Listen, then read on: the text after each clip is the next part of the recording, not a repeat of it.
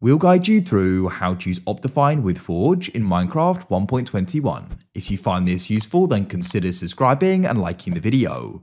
You can do this with other subversions as well. So Forge allows you to go and run mods on Minecraft, and Optifine goes and enhances and optimizes the game. So being able to use Optifine is great because it allows you to go and get a better playing experience. And what we're going to need to do is go and open up a web browser. Here we are on Google. And what we need to do is go and head to Optifine. So go and type it in like so, or you can get straight to optifine.net. At the top, you can then go and press downloads. We can then press show all versions. It's important to note when choosing the version, you consider if you're using any other mods. For example, I'm not currently using any, so it doesn't matter the version I get, as long as it's for 1.21 or one of the subversions. But if you already have a mod installed, then make sure you get it for the same version. It doesn't matter for me in this case, so I'll just get it for 1.21.1, or I could get it for 1.21. Then I can go and press download like so. You're going to be brought to an offer wall here. Just be where the download button is for the ad, wait for the skip button in the top right. We can then go and press download like so. Now what we need to do is just press back until we get back to the downloads page, just because we'll need it in a moment. Open up a new tab and we need to go and head to Forge. So go and type in Forge Minecraft like so. We can come to the Forge site.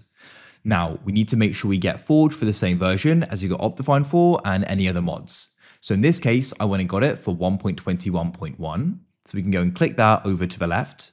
What's important to note though is we then get it for the correct version. If we come here, we can see the Forge version here, 52016. So I need to go and press the show all versions button. I can then find it. 52016 is quite far back here. Here it is. And then what I can do is go and press installer to the right, like so. And we're going to be brought to the offer wall. Once again, just be aware this is an ad here. What we can do is go and press the skip button in the top right. It's now downloaded. Before we get any further, a big thank you to Apex Hosting for sponsoring this video. If you're in need of a Minecraft server, check them out, link down below in the pinned comment and the description. At the moment, you can get 25% off your first invoice. It's definitely worth checking them out.